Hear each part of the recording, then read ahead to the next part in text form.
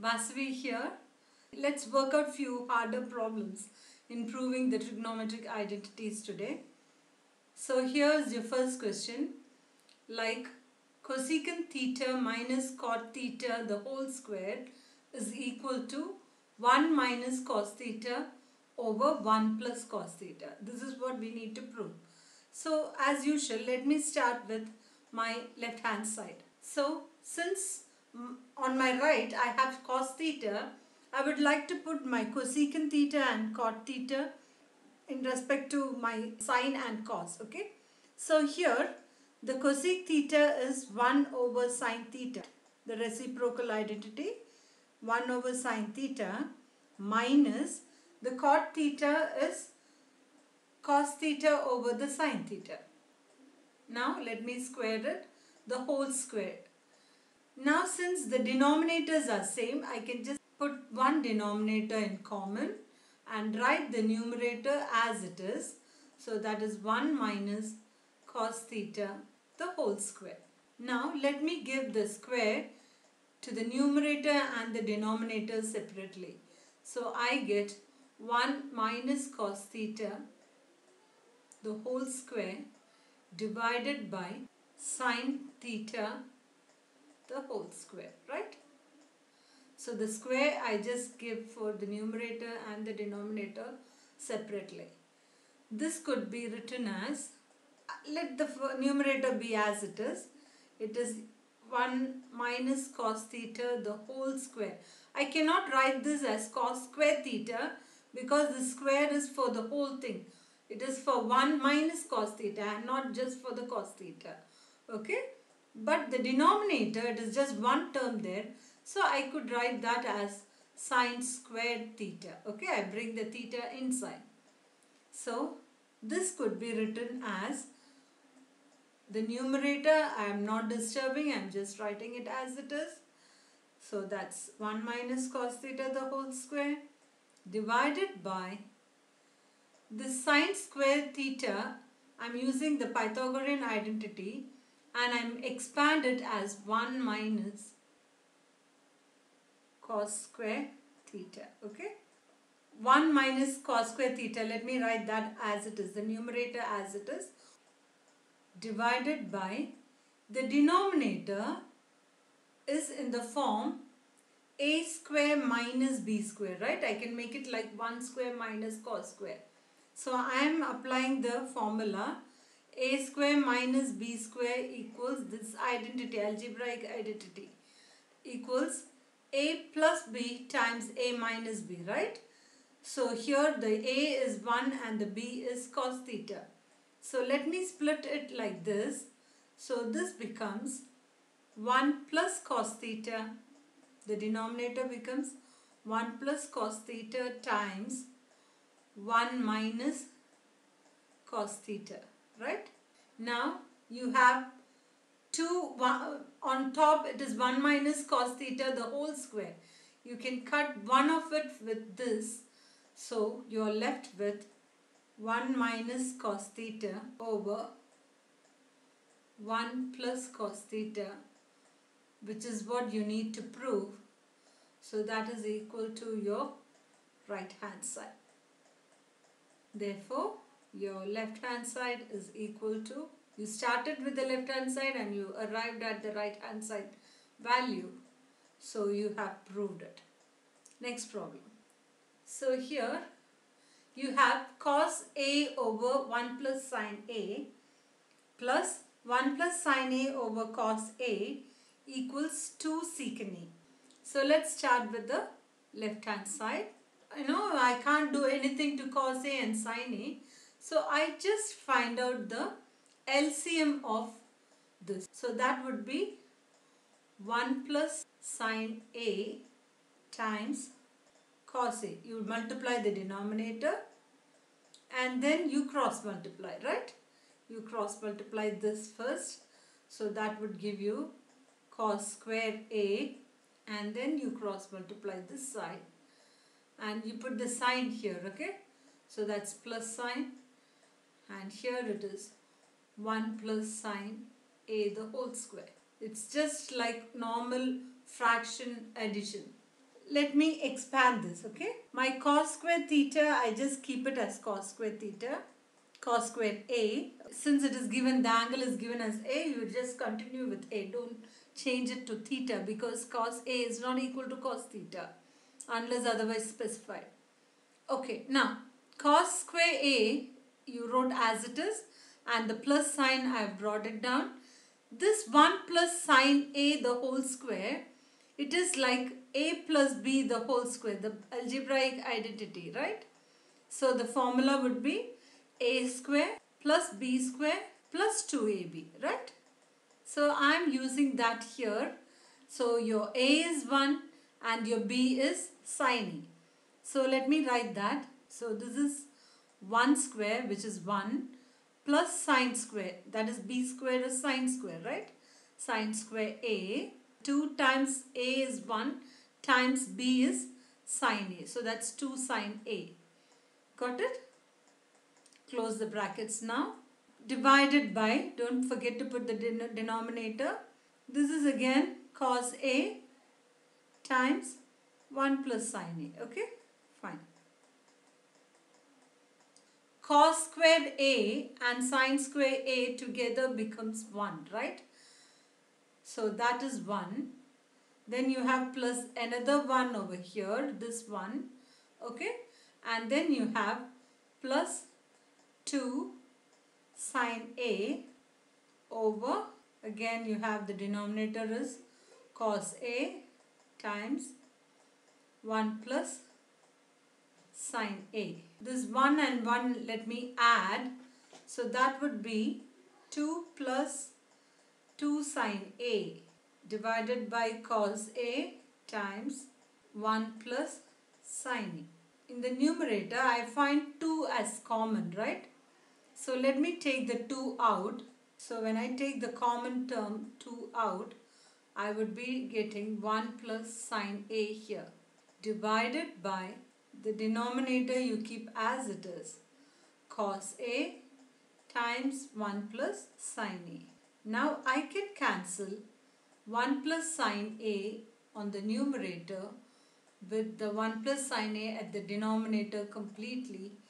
So I am left with 2 over cos A. I can rewrite this as 2 times 1 over cos A, right? So that is that implies 2 secant A. 1 over sine cos A is secant A, right? So this is your RHS. Now you can say that your left hand side is equal to your right hand side. Hence, this problem is proved. You just need to use all your identities wherever necessary and just stick on to the rules and keep moving slowly. You will definitely end up with the right hand side. And here's the third problem.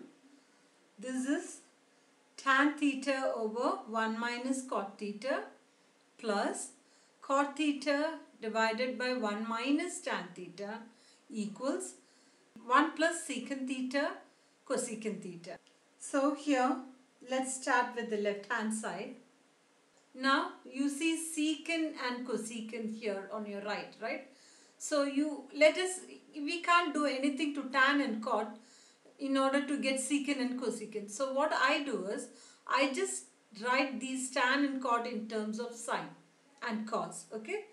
So the numerator tan theta, I can write it as sine theta over cos theta whole thing divided by 1 minus cot theta, right? Cot theta is nothing but cos theta over sine theta. Do the same to the next set here too. So it's cot theta on top. So that would be cos theta divided by the sine theta. Whole thing divided by 1 minus tan. Tan is sine over cos. So I'm just writing that as sine theta over cos theta. Now, the denominator, uh, let us uh, add 1, I mean let us do 1 minus cos theta the denominator and here you have 1 minus sine over cos right? Let me solve that. So that is going to be in the numerator I don't do anything I just keep them as it is. So that is sine theta over cos theta whole thing whole divided by here I'm finding the LCM okay? I take this denominator as 1 so it is 1 times sine theta which is sine theta here. And then you cross multiply as we normally do for fraction addition and subtraction. So 1 times sine theta sine theta over here minus here this one would be cos theta right? Okay now let's come to this side. Here uh, uh, to the second term. Again the numerator I just keep it undisturbed. So that is cos theta over sine theta whole divided by take the LCM here too. So that's the cos theta at the bottom at the denominator of the denominator. And you cross multiply. So that gives you cos theta minus sine theta. Now I'm just going to flip this okay? I mean yeah I'll tell you. This is the numerator divided by the denominator right? So I would write like this. The numerator I write it as sine theta over cos theta okay? And the division I write it like this divided by divided by what it is sine theta minus cos theta, right? Over sine theta. So this portion I have written it like this. Add. Here too I am going to write the same way. So that is cos theta over the sine theta. Write the numerator divided by the denominator. The denominator is cos theta minus sine theta over cos theta.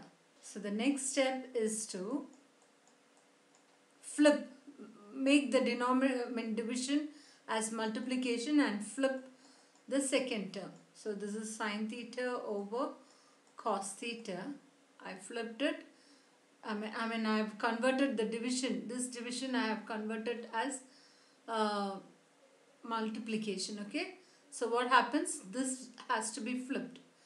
Put this upside down. So that's sine theta over sine theta minus cos theta. Okay. Here this is plus cos theta over sine theta. Again put the multiplication sign and flip this. This will be cos theta over cos theta minus sine theta. Close the brackets. The numerator is sine square theta, right? Sine square theta divided by cos theta times sine theta minus cos theta. Now just listen. Here we have sine theta minus cos theta but here this is cos theta minus sine theta. So just to make this as sine theta minus cos theta I am taking the minus sign out. So when the minus sign comes out this plus times minus would become minus here this time. Okay this is minus and then you would have on top it is cos square theta divided by sine theta. And this is changed.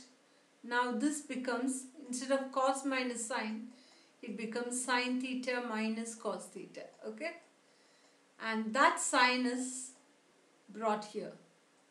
That sine is brought here. Okay? This minus sign is here let me take 1 over sine minus cos out okay the common term I'm taking out. So that would be 1 over sine theta because this is in both, right? Both the terms. So I'm just taking 1 over sine theta minus cos theta out. So what will you be left with? You would have here, you would have sine square theta over cos theta minus here again your 1 over sine theta cos theta has gone out. So here you'll have cos square theta over sine theta. Close it. Now next step is to find the LCM for this. So this this side this one which you have taken out will remain outside as it is. So that is sine theta minus cos theta. Yeah come on. So what would be inside here? You're going to take the LCM right? So that becomes sine theta cos theta. You multiply the denominators right? And then you cross multiply the fraction uh, subtraction I'm doing. So this becomes sine cubed theta minus cos cubed theta so let me expand that now on top you have sine cube theta minus cos cube theta. So this is in the form a cube minus b cube okay in algebra algebraic identity. So here the formula would be a minus b times a square plus ab plus b square okay. So I just apply that here. So here your a is sine theta and b is cos theta, right? So this become sine theta minus cos theta, a minus b, right? So that's sine theta minus cos theta times sine square theta, a squared is sine square theta plus ab, ab is sine theta cos theta, right? Plus b square, your b square is cos square theta, okay? close the brackets. This one I just gave you as a hint like how I expanded using the algebraic identities. So don't get that confused with the, your actual answer. So this is whole thing divided by sine theta cos theta. Close it. This one here the sine theta cos theta here will be cancelled with this sine theta cos theta. And now you're left just with sine square theta plus sine theta cos theta plus cos square theta right? Divided by sine theta cos theta. So this sine square plus cos square the identity Pythagorean identity becomes 1 1 plus theta cos theta divided by sine theta cos theta okay? Now I'll just give the denominator separate okay for each on the each term on the numerator separately. So I write 1 over sine theta cos theta plus sine theta cos theta over sine theta cos theta so again what happens? These two would cancel and it becomes 1 here. So you have 1 over sine theta here is cosecant theta, right? Times 1 over cos theta is secant theta plus this 1, okay, you have here. So this is what you need to prove as your RHS. So your LHS is equal to your RHS and the problem is hence proved. That's it. Hope you all would have understood, right? It is as simple as this. Keep using your identities which you have learned so far in the right place and arrive at the answer. Good luck. Bye.